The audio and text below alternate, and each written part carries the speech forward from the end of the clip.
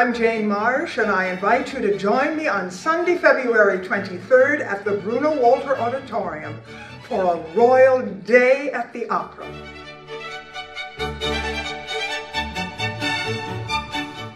The Met Opera season features operas with vibrant stories of royals and nobles based on fact, fiction, or fairy tale.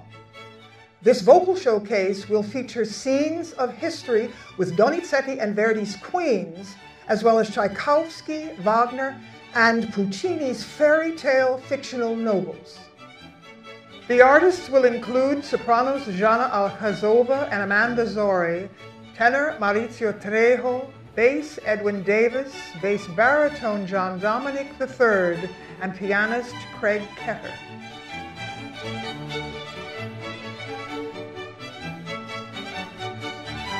We hope to see you on Sunday, February 23rd.